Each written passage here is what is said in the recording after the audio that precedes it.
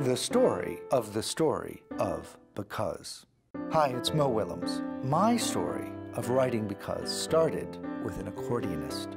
Hello, this is Amber Ren. My story of illustrating because started with a painter. One night I was at the New York Philharmonic and was surprised to find an accordionist on the stage. I couldn't stop watching him and thinking, how do you end up becoming the accordionist at the NY Philharmonic?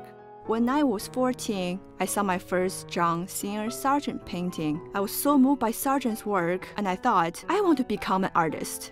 Then I started to wonder how did the conductor become the conductor? And the bassoonist become the bassoonist? And the percussionist, what's her story? How did all these people end up at this one show on this one night? How did I get there? I started to draw seriously. I went to art school. I painted about my childhood in China. I painted about my life in California. I got a job. I got an agent. I wanted to tell the story of how, when people agree that something is important enough to work on together, they can inspire and change lives. I wanted to tell that story through the life of a young girl. And one day, I got a call. We needed an illustrator who understood this story, who really got how this single moment mattered. Turns out we needed Amber. I was like, yes, yes, because that girl is like me. We also found a young composer named Hilary Purrington to create music to accompany this story.